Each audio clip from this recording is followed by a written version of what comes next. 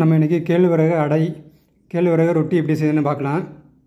பண்ணும்போது கேழ்வரகு ரொட்டி வந்து பார்த்திங்கன்னா நம்ம முருங்கைக்கீரை சேர்த்து செய்ய போகிறோம் ரொம்ப சுவையானது சத்தானது. வாங்க இன்றைக்கி நம்ம எப்படி செய்யுதுன்னு பார்க்கலாம். பாருங்கள் எள்ளு சேர்த்து நம்ம செஞ்சுருக்கோம். ரொம்ப சூப்பராக இருக்கும் இந்த கேழ்வரகு அடை. பாருங்கள் நம்ம இரநூறு கிராம் அளவு கேழ்வரகு மாவு எடுத்துருக்கோம். அதாவது கேப்ப மாவுன்னு சொல்லுவாங்க சில இடங்களில். இந்த கேழ்வரகு மாவு பார்த்திங்கன்னா நம்ம எடுத்து ஒரு பாத்திரத்தை எடுத்து வச்சுக்கிடுவோம். பாருங்கள் நம்ம தோட்டத்துலேருந்து ஃப்ரெஷ்ஷாக முருங்கைக்கீரையை படித்து வச்சுருக்கோம். இதை நம்ம ஆஞ்சி வச்சுக்கலாம் நல்லா. இதுக்கு பார்த்திங்கன்னா ஒரு பெரிய வெங்காயம் ரெண்டு பச்சை மிளகா சின்ன சின்னதாக கட் பண்ணி வச்சுருக்கோம். ஒரு டேபிள் ஸ்பூன் எள் எடுத்துக்கோம். பாருங்கள் வெங்காயம் பச்சை மிளகா எள் கேழ்வரகு மாவு முருங்கைக்கீரை அவ்வளோதான் நாங்கள் இன்றைக்கி எப்படி செய்யணும் பார்க்கலாம் பாருங்கள் நம்ம கேழ்வரகு மாவில் கொஞ்சோண்டு தண்ணி ஊற்றி கொஞ்சோண்டு உப்பு சேர்த்துக்கலாம் ஃபஸ்ட்டு தேவையான அளவு உப்பு சேர்த்துக்கலாம் நம்ம. உப்பு நம்ம சேர்த்தாச்சு. இப்போ தண்ணி கொஞ்சம் சேர்த்து பிசைவோம் நல்லா. தண்ணி கொஞ்சம் கொஞ்சமாக சேர்த்து பிசைவோம் ரொம்ப தண்ணியாக இருந்துச்சா நமக்கு வராது. தண்ணி ஊற்றி நல்லா பிசைஞ்சிச்சு. இப்போ நம்ம கூட கட் பண்ணி வச்சுருக்க ஆனியன் பச்சை மிளகா சேர்த்து விடுவோம். இதையும் சேர்த்து நல்லா மிக்ஸ் பண்ணிக்கலாம். இப்போ நம்ம இது கூட எள்ளு ஒரு டேபிள் ஸ்பூன் எள்ளு சேர்த்துக்கிடுவோம் வெள்ளை எள்ளு சேர்த்துருக்கோம் நம்ம.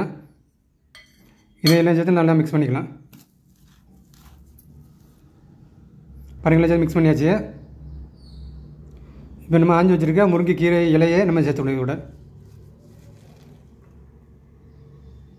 பாருங்கள் முருங்கை நல்லா ஃப்ரெஷ்ஷாக இருக்குது பாருங்கள் தோட்டத்துலேருந்து இப்போ பறிச்சிட்டு வந்தோம் முருங்கை இலையை. எல்லாம் சேர்த்து நல்லா மிக்ஸ் பண்ணிக்கலாம். பாருங்கள் எல்லாம் மிக்ஸ் பண்ணி நல்லா உருண்டை பண்ணி பிடிச்சி வச்சுருக்கோம். அவ்வளோ ரெடி ஆகிடுச்சு பாருங்கள் நம்ம ஒரு ஃபேனில் எண்ணெய் ஊற்றி சூடு பண்ணிக்கலாம். இதுக்கு தீ பார்த்தீங்கன்னா மீடியம் ஃப்ளேம் தான் வைக்கணும். ஹை ஃப்ளேமில் வச்சிங்கன்னா கருகிரும் உள்ளே வேகாமல் இருக்கும். அதனால் மீடியம் ஃப்ளேமில் வச்சு நல்லா வேக வைக்கலாம் அதை. பாருங்களா உருண்டை மாதிரி பிடிச்சி அது கடாயில் நம்ம வச்சு கைட்டு நல்லா அமுக்கி விடலாம் நல்லா. நல்லா மெல்லிசா வர வரைக்கும் நல்லா அமுக்கி விடுவோம். இப்போ அதை சுற்றி நல்லா எண்ணெய் நல்லா ஊற்றி விடுவோம் நல்லா. அப்போ அது நல்லா வேகும்.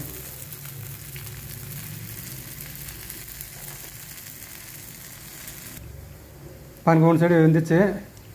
நம்ம திருப்பி போட்டுடலாம் அதை.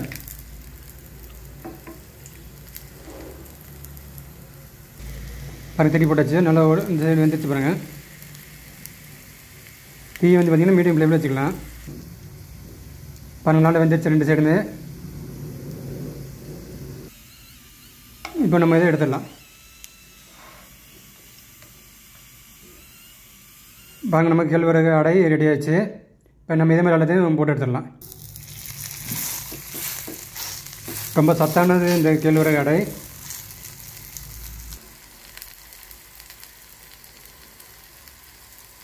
பாருங்கள் நம்ம இதேமாதிரி ஒன்று ஒன்று போட்டு போட்டு எடுத்துக்கலாம்.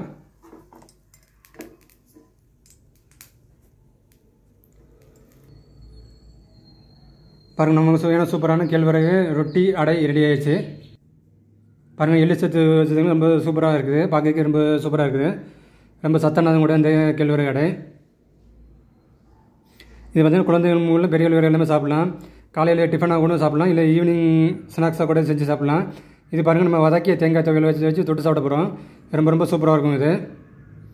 இந்த கேழ்வரகு அடை ரொட்டி வீடியோ உங்களுக்கு லைக் பண்ணுங்கள் ஷேர் பண்ணுங்கள் அப்படியே எங்கள் சேனல் சேனல் சப்ஸ்கிரைப் பண்ணி சப்ஸ்கிரைப் பண்ணுங்கள் பெல் பட்டன் சேர்த்து ப்ரெஸ் பண்ணுங்கள் அப்போ நாங்கள் அப்லோட் பண்ண எல்லா வீடியோ உங்களுக்கு வரும். நல்லா சாப்பிடுங்க நல்லா சாப்பிடுங்க. வீட்டில் செஞ்சு சாப்பிடுங்க. நன்றி வணக்கம். இதே மாதிரி எல்லாத்தையும் வீட்டில் செஞ்சு சாப்பிடுங்க. ரொம்ப சத்தான உணவு அந்த கேழ்வரகு அடை.